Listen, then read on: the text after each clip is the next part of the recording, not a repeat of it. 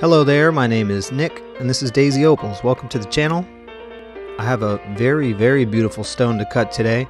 Heavy saturation. Sent to me by Frank from Opalholics R Us, one of the top opal sellers on Etsy. Lucky enough to have his support for my videos. And uh, this was chosen by a YouTube user named Joy E, who has a King of the Hill photo. I love King of the Hill.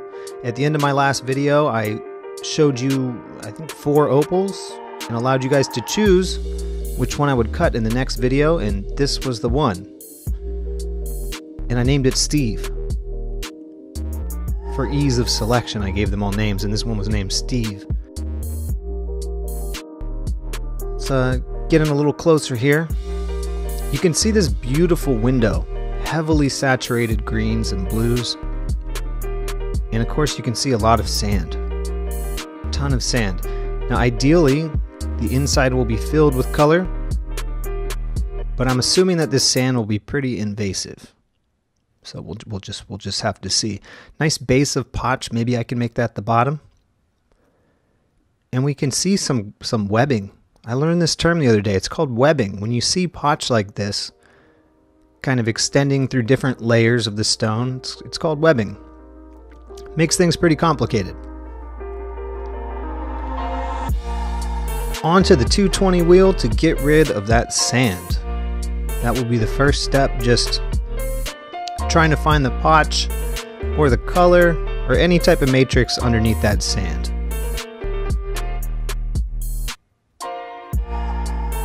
I'm using the left side of the wheel a lot because the, the center seems to have worn down and the right side. Those are the, uh, the stock wheels from the Cab King. I think it's time I need to get some Nova wheels.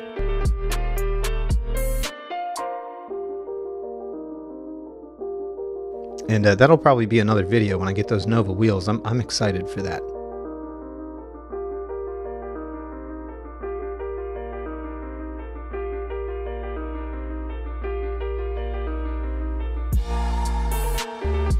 A lot more sand than I expected. I guess I'm a little over optimistic. I thought it might be like a millimeter before I hit potch, but we got a lot of sand to wipe out of the way here.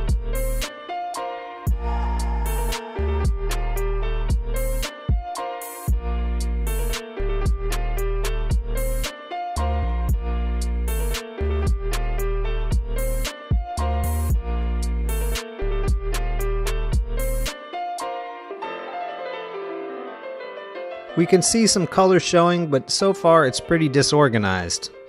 And I keep noticing this to the left of that saturated window, this little pile of sand. I'm going to try to get rid of that and see if uh, that window extends to the left.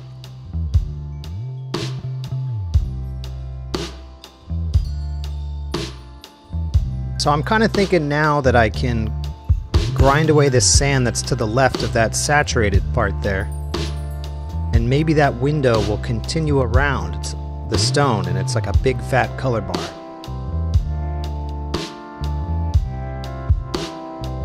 But you can kind of see that it, it, it dips back and it's not the case. This might be this might be going deep in here. So I'm gonna try to round off this top. If I can peek and see if uh, because I'm imagining a huge color bar that goes across there. So I'll tell you right now that was not the case. Not the case at all. The, the window is as far as that color bar extends. So I'm, I, I chalked up another plan. I've been thinking that this was the top. Because I like this potch on the bottom. I was thinking this will stop, and this will be the top maybe I switch it around, shave off that potch, and maybe I'll see this color that's clearly against it. I'm going to take off some of this side and see. So if you go back and rewind or you, or you check again, the color that's against the potch is incredibly flat. So it's probably like pure color below the potch. Whereas if I take it from the top, the, the tendrils of the sand might extend into the color and I might get white spots. I'd rather have the gray potch like bleeding into the color than the sand. So I'm changing the potch to the top. The sand is pretty firm and it should make a nice solid base anyways.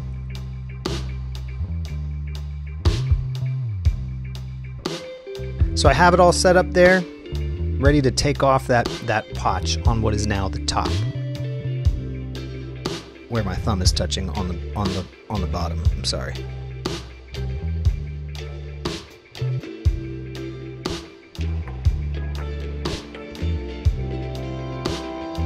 And this is the satisfying part of the video, so grab your popcorn or your box of Lucky Charms whatever you're snacking on, start snacking now.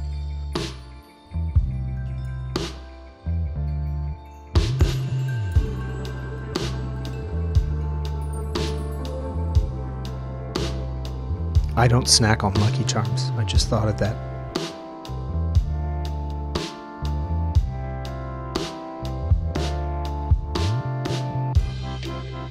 Right up against the color there. Less than a millimeter left to go. I'm hoping. You know, there's always a chance that the potch just dips down in the middle, goes right through the color. That's a good sign. We see color peeking around the other side of the potch, making a little circle.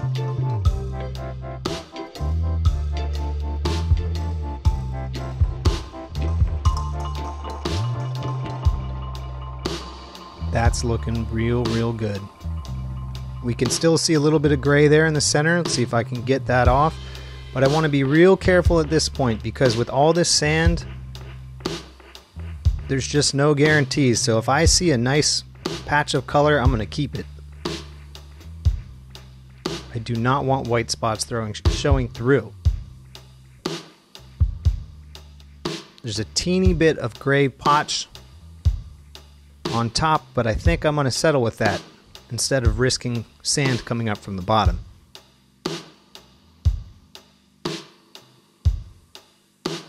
Yeah, that's good.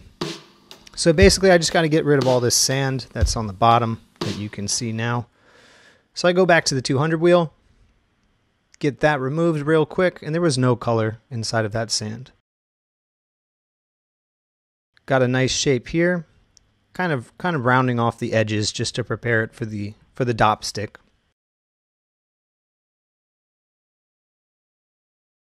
And there she is. That's the general shape before the dop stick. And now it's time to do the bottom. Get the bottom nice and even.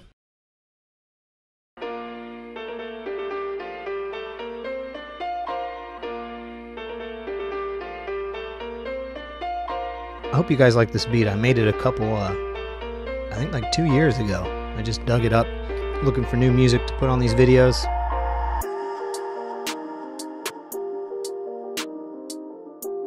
Time for the top now.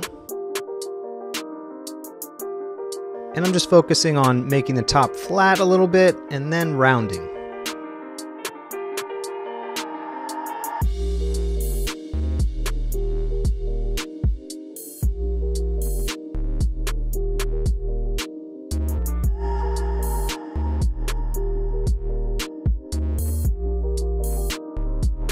You want to go nice and smooth when you spin the stick or you're going to get flat spots. Onto the 600 wheel where I'm going to take out those 220 scratches and further round the stone. Get clean rounded edges.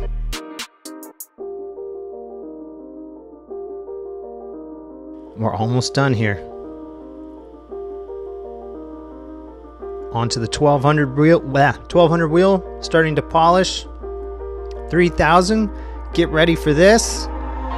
Oh, oh we got to do a cerium oxide first. But then, the final stone. Absolutely gorgeous. I could not be happier with this stone. I might have to make this into a ring for myself because I love the colors, I love the pattern.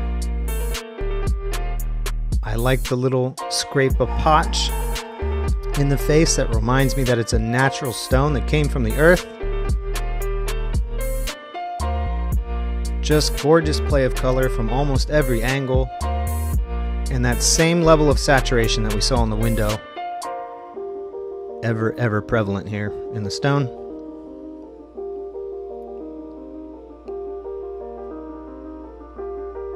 Anyway, should make a gorgeous ring. I'm so sorry about my knuckle hair. If you want me to shave it for the next video, type banana in the comments and I will shave my knuckle hair. sorry. Interaction is important, I read, for YouTube. Anyway, if you enjoyed this video, like and subscribe. Uh, if you're a hobbyist like me and you like to see the journey, you know, I hope you can learn something. Thank you guys so much. Make sure to check out the uh, Etsy store. Follow me on Instagram. Reach out if you have any advice or um, requests. Thank you.